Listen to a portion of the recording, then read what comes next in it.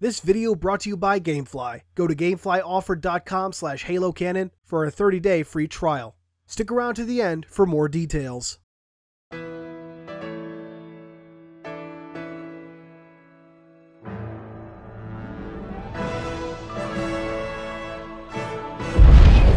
Hey there, Canonites. Welcome back to Halo Canon. Today we're doing an unboxing for Halo Ground Command.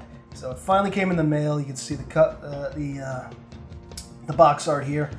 So the way that we're going to do this is I'm going to do like kind of a standard unboxing. You know, pull everything out, and see what's what, and then you know, off screen. Essentially, I'm going to build the models, come back, and show you the finished product. If you want to just see the finished product, I will put an annotation. Uh, let's say up here or something like that. Um, but you know, there'll be an annotation on screen. Uh, there'll be one in the description box down low. So if you don't, you know, if you're on mobile or a tablet or something that doesn't allow annotations, what have you. But so let's. But uh, for now, let's start and take a look. So cover art first of all, I absolutely love it. Um, I'll admit when I first saw it, like I love the concept, if nothing else. But when I first saw the art, it kind of looked it didn't look as good as I might have expected, I suppose. It, I don't know exactly how else to say it. Like, for good measure, let's compare the cover art of, of uh, Fleet Battles. Very highly detailed, um, beautiful, beautiful art that really represents what you're getting, uh, really represents the ships well.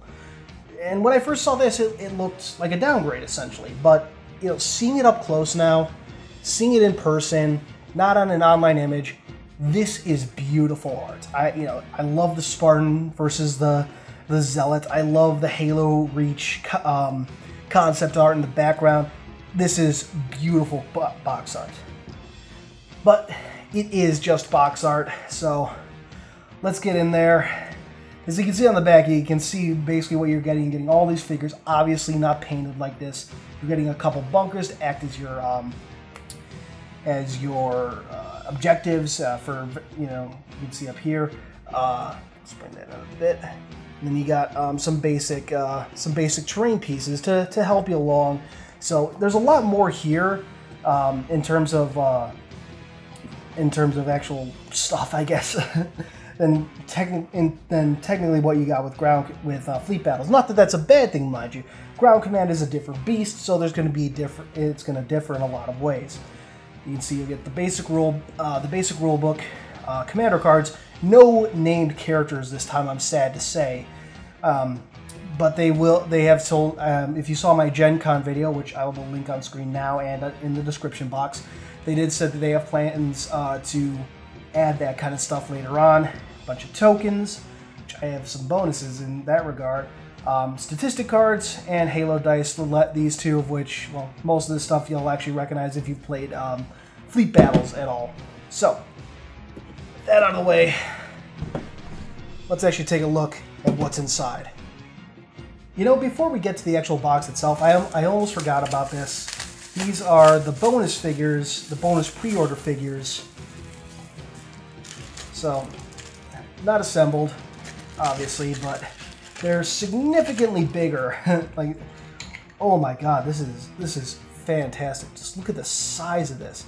You'll see it better when the when these are assembled and next to the to the regular figures, but the, the, these are quite sizable.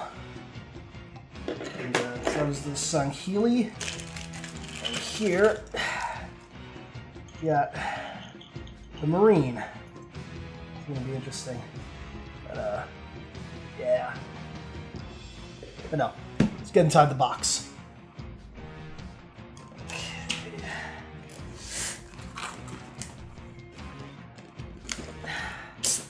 Whew, that is that is really in there, isn't it? or was, I should say.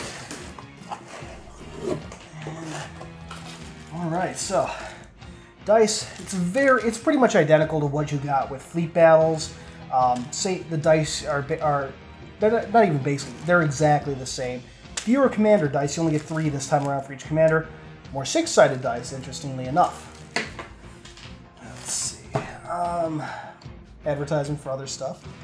Remember, Spartan Games does more than just Halo. So we got here. Okay. Hello. So this is your train. So UNSC blocker, UNSC uh, um, ammo crate, Covenant crate or ammo crate. Another. Gonna see blocker, blocker, blocker. Okay, that's all good.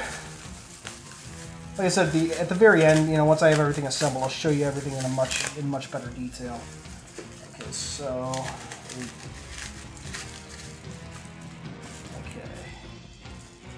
So this, what do we have? Looks like okay. So this is uh, this is the ghost. Or part. These are parts of the ghost. So yeah. Oh wow, there's actually some metal parts in there too. Oh wow, the uh, the fit the bottom fins are are metal. Interesting, very interesting. I was not expecting that. There goes something. Ah, my metal, my metal's gone. So I'm guessing this guy is all Covenant. Is probably gonna be all Covenant. Oh wow, a lot of these are metal figures. Yeah, holy shit. So, Hunters, metal. Wow, yeah. Oh my god, like everything's metal except for the bases. I was not expecting that. Holy shit. But uh, you got heavy grunts. They have the regular configuration, not the heavy grunt from like Halo Reach, which is somewhat surprising considering how much this pulls from Halo Reach, but you know, whatever. Uh, let's see, and then more grunts. Just more grunts. this and this is where we're gonna see more like. So let's see. Uh, yeah, that's more grunts. This one I think is where, yeah, you it might be the easiest to see, but this is uh, the the feed here of the the Sangheili. So this is where our Sangheili commander resides. Okay. No, okay. So that's for Covenant. Covenant. This is more like most likely going to be Receiver. I'm guessing it's going to start out just the same with a Warthog, most likely. Let's see. Yep. Warthog wheels. Warthog uh, bottom.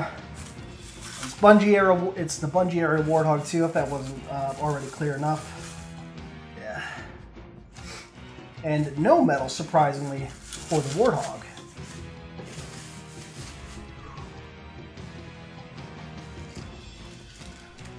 So let's see, what do we got this time? So, uh, just basic soldiers, it looks like. I can't tell what this is right here. I don't know, there's some cover perhaps. Find out when I actually build these soldiers. Heavy soldiers, it might be hard to see, but this guy's got his uh, rocket launcher. My damn camera would focus.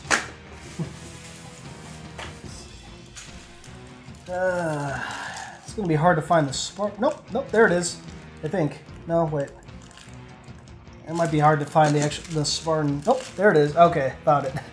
Spartans, I should say.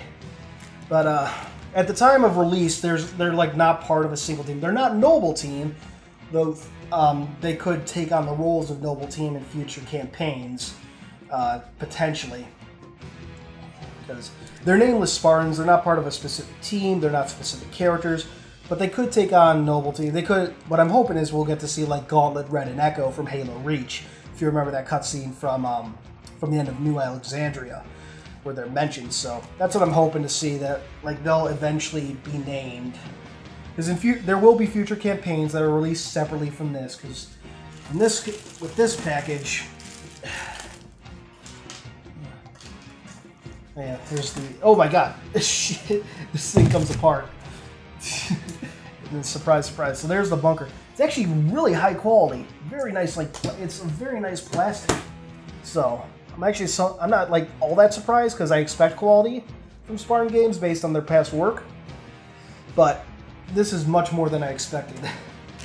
but anyway, so the game does not launch with um, with a campaign. It just comes with a rulebook, which I'll pull out here.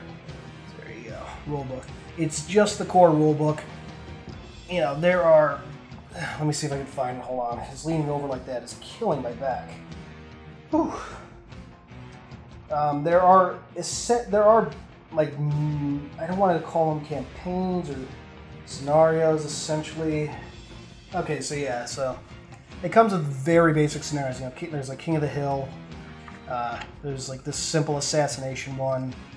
I don't I don't even know what the, I'm not really uh, meat grinder it's called. So very basic stuff. You might recognize this sort of setup if you played Fleet Battles again, but yeah. So that's basically what we're launching with. Nothing real special. Um, but there will be more to come. And let's see. So, tokens. Reference sheet, this is always very handy. One reason I and my friend always have our own, so we can all use that. Uh, more tokens, which I said I noted earlier. I actually have something special. Ooh, here you go. Decals for the bunker. Nice. Actually, I'll just grab this quickly. I picked this. I picked this up at Gen Con. So these are like thick plastic uh, tokens, which actually come with also a Phantom and a um, and a Pelican token. Just let me see if I can find the alternate one. Yeah, it's the very first thing I showed. So that's what they, you know, that's your that's your stand-in token for that shit initially. Um, so I just have like a thicker plastic one, which is very nice. And I'm sure you can order online. I'm pretty sure you can. And then last but not least, I well, I guess not last but not least, but um, next up, the commander cards. So just Sangheili General, and it shows a Spartan, but your your commander is not a Spartan. Your commander is a sergeant. But it, you know, it works very similar to ground command. You roll your, you know, you roll your uh, not ground command, similar to fleet battles. You're gonna roll your uh, command dice. They'll give you abilities, yada yada yada. Now, last but not least, I won't go through each one of these individually, but you know, your stacked cards. So that is everything in the box. Now I'm gonna assemble it, and it's gonna be a quick cut for you, but for me, this is gonna be several hours. All right, so we finally have everything completed, everything built. God, this was a pain, but let's take a look at it. So first, uh, we have, we'll take a look at the UNSC bases. So it's a nice mix of um, uh, what do you call it, resin, resin pieces, and uh, you know cardboard decals. So um, very simple. I love, but it, you know it looks nice. It looks very nice at the end of the day, and that's that's what you're going for. Next up, the Sangheili, the Sangheili Minor. Again, made out of a nice uh, resin or plastic. Um, very, very nice detail. It might be hard to see because my focus absolutely sucks with this camera, but trust me when I say you can kind of see it, I think. But yeah, looks pretty badass. And then, of course, the Marine. Considering they went with the Elite, I'm kind, I kind of wish they'd gone with a Spartan, but the counter, the counterpoint to a Spartan, you could say might be a Zealot. So, either way, basic Marine, Looks very nice, great detail, Halo Reach style, which is probably my favorite look for the Marines. Yeah. I already showed off the uh, crates and natural boundaries and stuff. Um, let's look at the Warthogs. Now, this is the one thing I haven't completely finished, and that's due to choice. As you can see, the turret is not yet glued on. That's because what I want to do eventually, uh, what I want to do is I want to get some Earth magnets and replace, you know, the pagan, the little pagan here, so that the turret can not only detach when it's not being used, but can also swivel. Mostly so can detach just because these are these are pewter this is a pewter figure, as are most of these things, which means it's bone prone, sorry. it's bone to it. No. It is prone to bending and malformation, which a lot of these I actually had to straighten out. Which is one thing I don't like about pewter figures. Uh, we got three varieties of Spartan. Yeah, I can only grab two. but three, yeah, so three varieties of Spartan. Uh, it might be hard to see, but this one's got a Spartan laser. This one's just got your basic AR. It might not come through, but you can kind of see the uh, the what do you call it? The barrel here is kind of limp. Talking about again my dislike of pewter figures. I, I really wish they could have gone with plastic. I don't know if it's a like cost thing or if it's just not a good idea at this scale. I have a little trouble believing that, but if that's what they if that's what they were to say, I would believe them. And anyway, uh, last but not least, rocket launcher.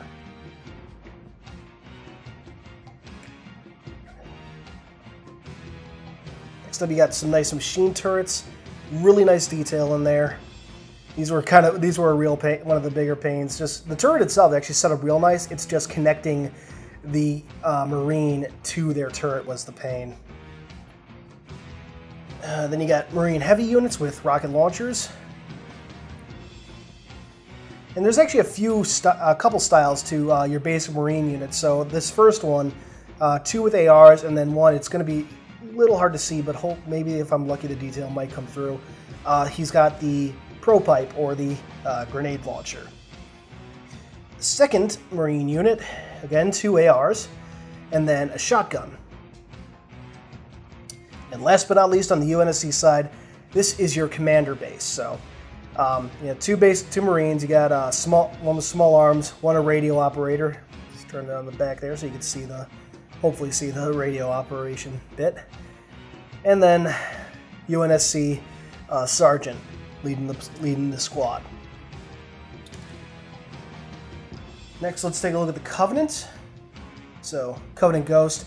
I like that this one's is entirely plastic. Um, I did have some trouble getting it into the base, but you know what? It worked out real nice in the end almost entirely, I'm sorry. Uh, the bottom here, the, I don't even know what you'd call these, the booster modules perhaps are pewter, but other than that, I love it. Next up we have the Hunter here. It's got a few parts. You can kind of kind of see where the joints are. These were a real pain to, to put together.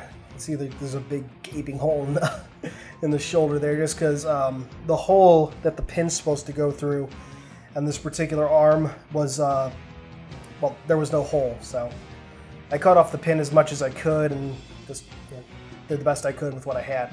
And there's actually two uh, Hunter forms too, which I actually, I really do like it though. Um, so you can see you had the one before, which was, uh, which was charging a shot, and you have another one ready to charge at you. Ooh, thunder outside.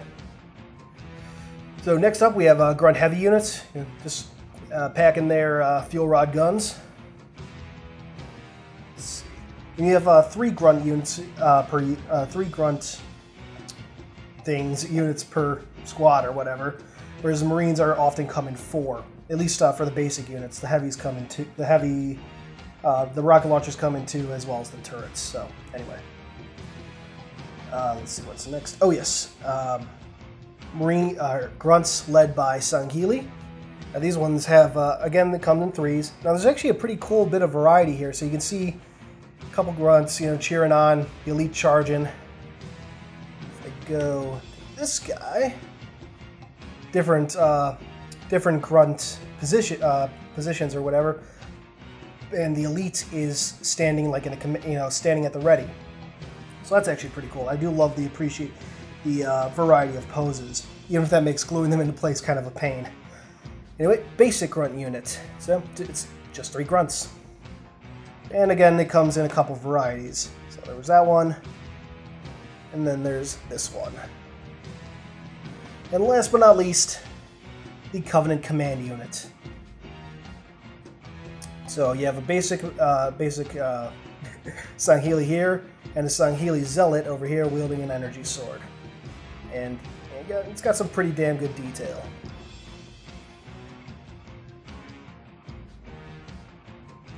I almost forgot. These were the last things I want to show you.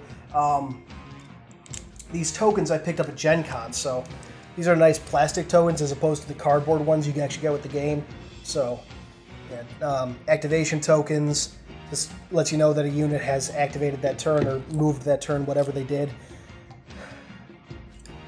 fire or damage tokens, I think I believe.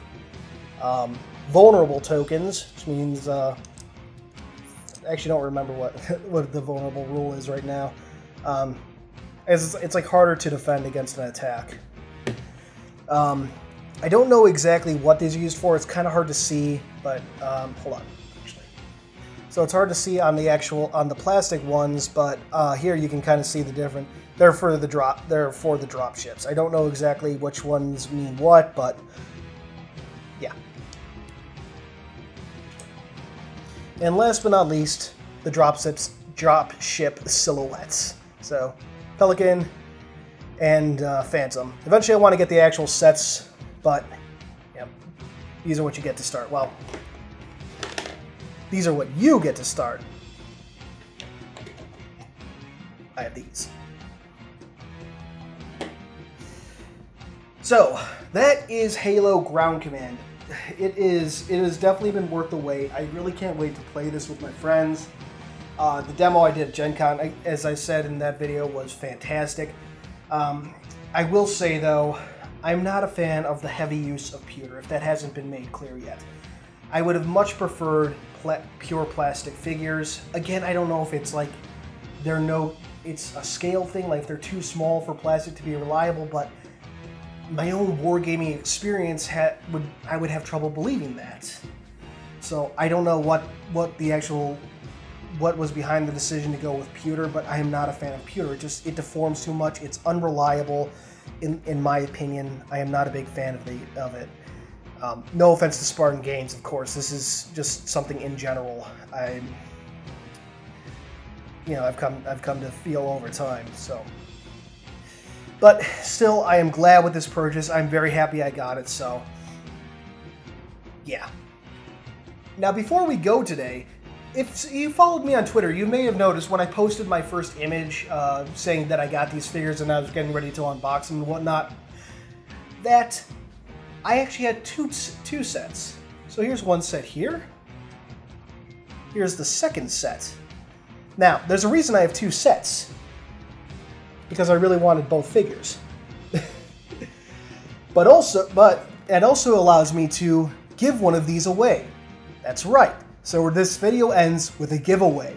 If you want to win your own copy of Halo Ground Command, all you got to do is leave a comment in the description box, comment below,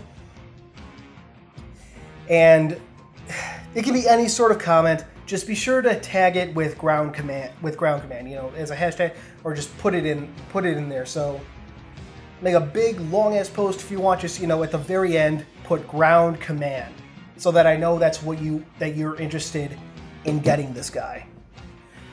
Because and uh, you know, it'll probably be like a couple weeks or something before I announce the winner, since I'm leaving for PAX in a few days.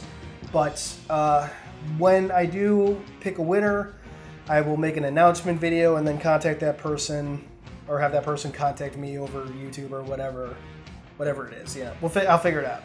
But I'll pick a winner and I will ship this out to you as soon as I can. So if you wanted it but couldn't afford it, again, just leave a comment below. Put ground command at the very end of your at the very end of your comment, or that can be the entire comment. You can just say ground command and that's it just so I know that, that you're commenting to win to uh, to win this specifically. But thank you guys. So that's everything today. Thank you all for watching. I hope you enjoyed this at least, you know, somewhat. And uh, yeah, that's it for today. Thanks for watching. This has been Halo Canon. Peace out, bitches. I'm sorry. I'm so sorry. I'll just I'll, I'll see myself.